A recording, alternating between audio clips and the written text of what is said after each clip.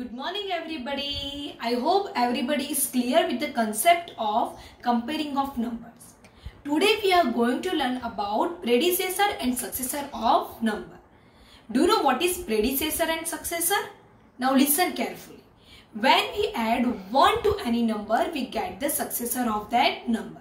And when we subtract 1 from any number, we get the predecessor of that number.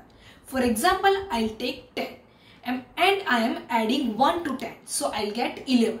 So 11 is a successor of 10.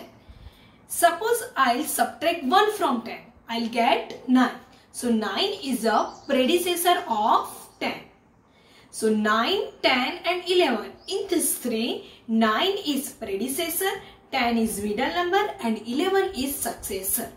To learn in detail, kindly go through this video and don't forget to solve this worksheet in notebook. Thank you.